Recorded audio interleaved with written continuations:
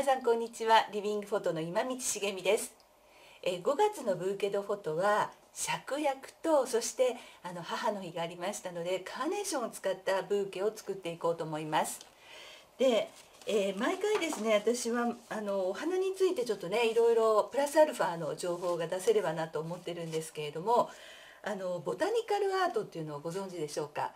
あのこのボタニカルアートっていうのは、まあ、アートとして飾ってね綺麗なあの、まあ、絵画としての価値とそれからあの科学的なあの、まあえー、薬草であったりあのしたらですねこう葉っぱのこうつき方とか花の花弁の数とかそういうあの科学的な視点できちんと描かれたあの絵のことをボタニカルアートというふうに言うんですけれどもそのですねボタニカルアート展が今静岡えー、静岡市立美術館っていうところであの開催されてるのを見に行ってきましたあのちょうどね静岡のあの新幹線で行ってそのすぐ前にあの美術館美術館があって予約制なんですけれどももう本当にね感激するぐらい素晴らしいあの、えー、ボタニカルアート界では外せない作品がたくさんありました。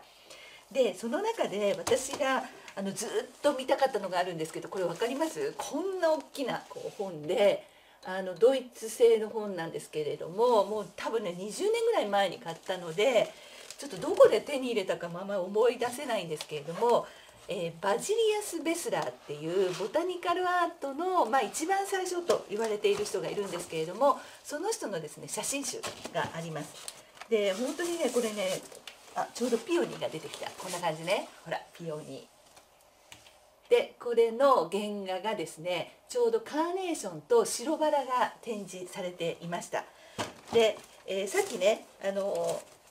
今月は母の日と申し上げましたけれどもえーと、ブーケドフォトではただ単にあのリアルサロンの方ではねあのブーケを作ってお持ち帰りだけではなくってあのそのブーケにちなんだいろんなものをあのスタイリングして皆さんに撮っていただくっていうようなことをずっとしてるんですけれどもあれどこ行っちゃったかな？その中でえー、っと今回はちょっと見つからないな。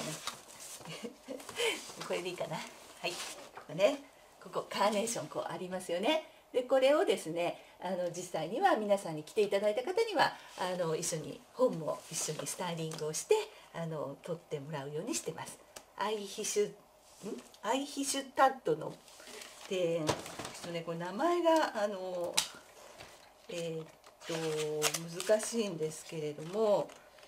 アイヒシュタットでいいと思うんですね。はいなんかね録画なのにちょっと言い間違えて編集せずにそのままいきますね。よいしょ。ああったあった。これねアイヒッシュテッドのそのこう日本語の訳が出てます。はい。これでした。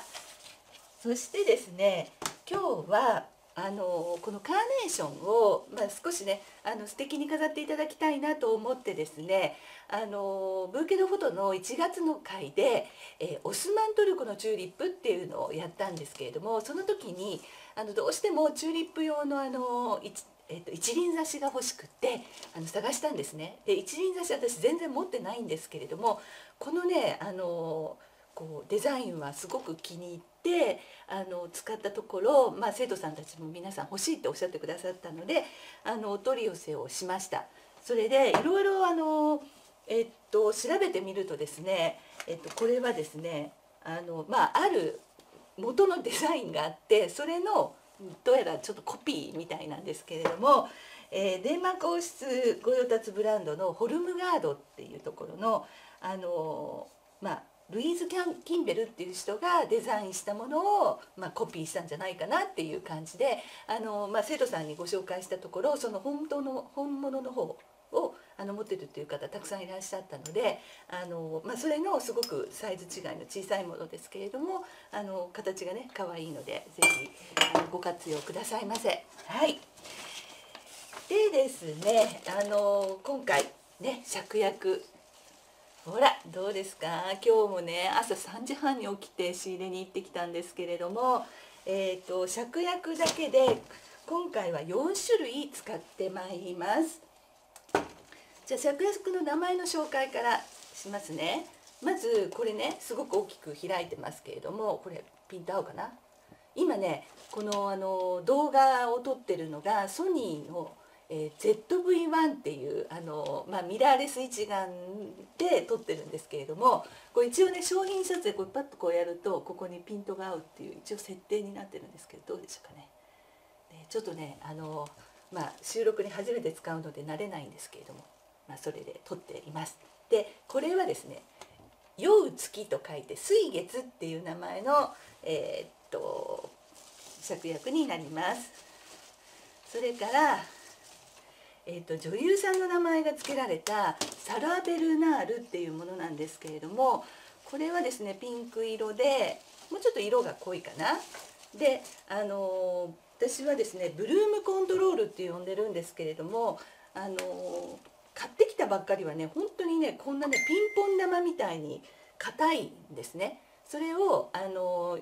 まあえーと、ちょっと水で洗ってそして、えーと、毎日毎日あのお水を変えてこれは今日5日5日目なんですけれどもあのお世話をして少し開かせました。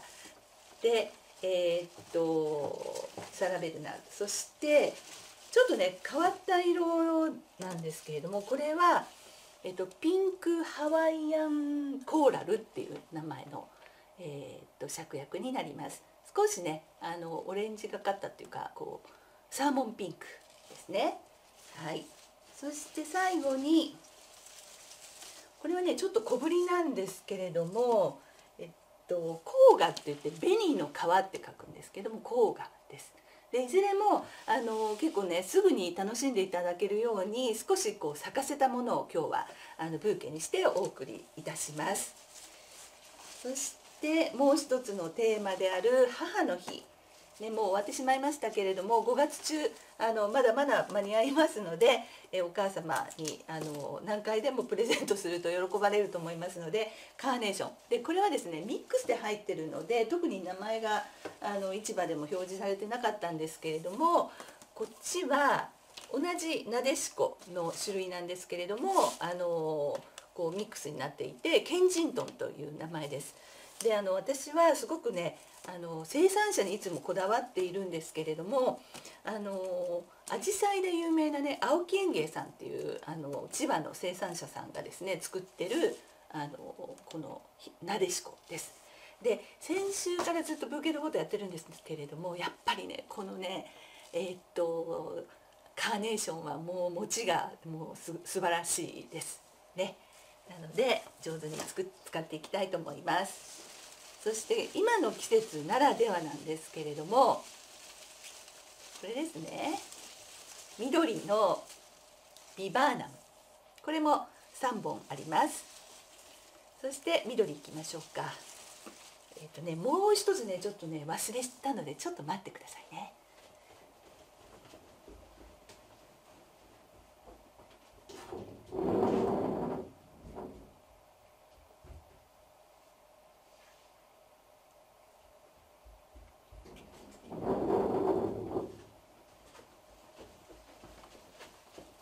はいお待たせしました。えっとねこれがねディコディケロス天マっていう名前なんですけれどもあのねピンクでねベルみたいですごい可愛いんですね。で三宅さんっていう人が作っているとってもあの珍しいものものです。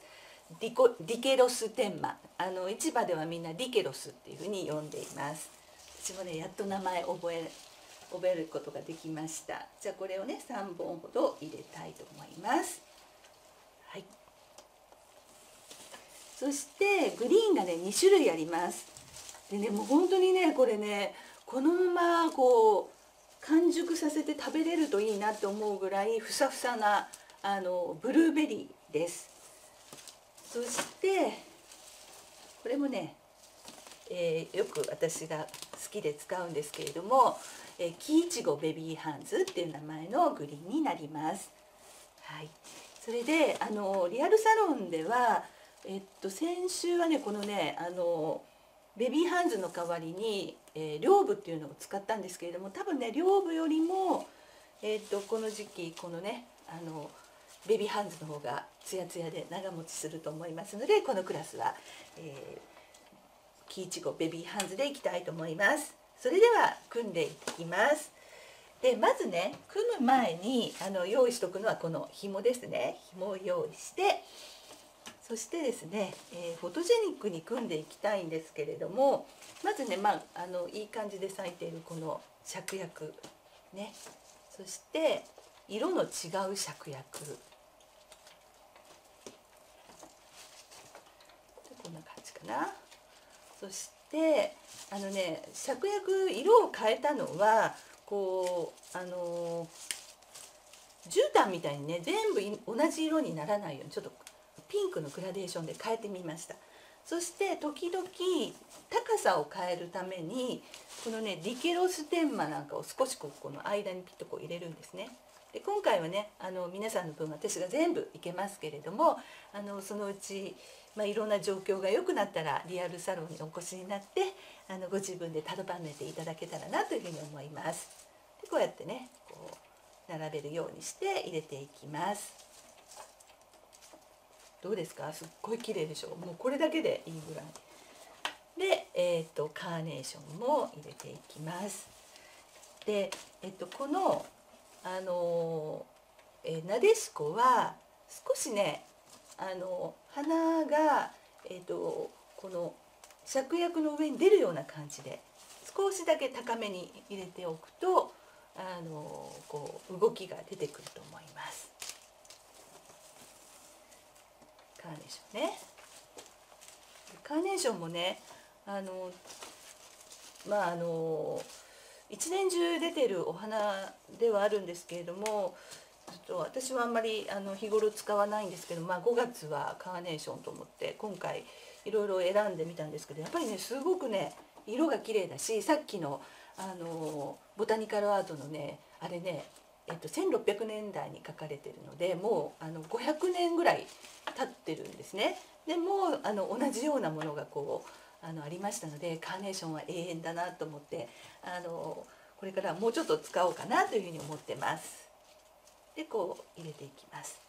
で入れ方なんですけれども私は必ず同じ方向に、えー、倒して下がこう広がるスパイラルっていう入れ方で、あのー、入れてます。ね、でちょっとくるっと回してで今回ねこれすごい大きく咲いてるのでどうしようっていう感じなんですけれどもあの芍薬はですねちょっとこれやめとこうかな。ちょっと待ってね。これはうちで保留でその代わりにこっちねサラベル。これ入れましょう。はい。でねあのなかなか咲かないんですよ。でこのサラベルもさっき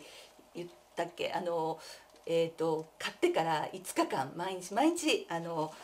お水を変えてあの、まあ、ブルームコントロールをしてやっと咲いたんですけれども、まあ、咲きすぎたら咲きすぎたでまたちょっとあの輸送に向かないということでねお家でこういうふうに咲くのはすごい待ってていただければと思うんですけれどもあのなかなかねこう開花のコントロールが難しいんですけれども今回はですねあの皆さんに全部咲いてる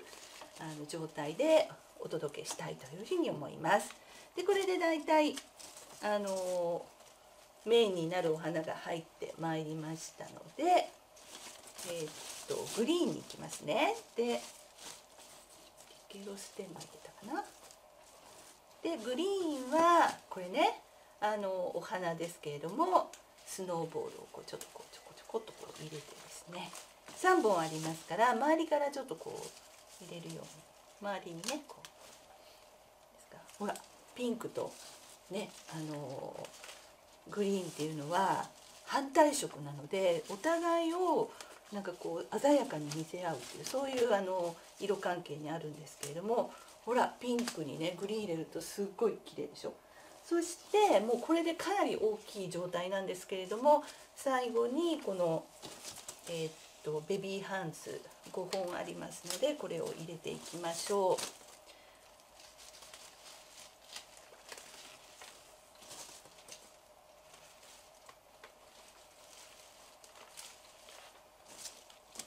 はいこんな感じかなそしてあの最後最後って言ってますけどこれがねあのブルーベリーブルーベリーをこう少しこう枝がこう前に出るような感じで入れていきます。はい。出来上がりました。こんな感じです。そしてあれ？最初に紐切っといたんですけど紐もう一回切りますね。紐。紐で私のこの今手で持っているところを湯えていきます。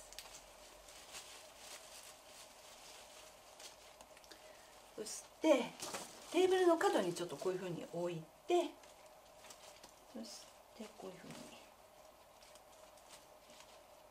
よいしょ。はい。で最後にすごいここ長いんですけれども、えーと、皆さんの箱に合わせてこのぐらいかな。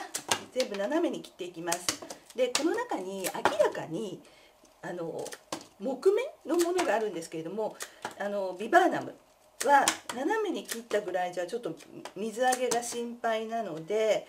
えー、っと皆さんも水切りする時にこれ毎日切らなくていいです毎日ちゃんとここをね流水でジャブジャブ洗ってくださいぬめぬめになるとあの水の中に菌が繁殖して、えっと、それを吸い込むとあの植物早く傷みますのでこの時期毎日お水を変えてくださいね。でその水揚げが良くなるようにビバーナムは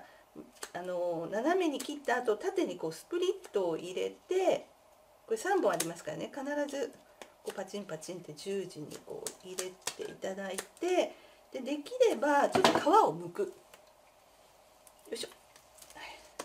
で私がこれやっときますのであの皆さんは、まあ、ちょっと状況に合わせてここパチパチって切ってください。そして今日初めてねあの参加してくださる方にはあのこう入れ物をお付けしてますのでそこに。で通常はあのアクリルのワインクーラーとかそういうものをお使いになってこうやって飾ってください。それでは皆さんの分を今から作って箱詰めしてお送りしたいと思います。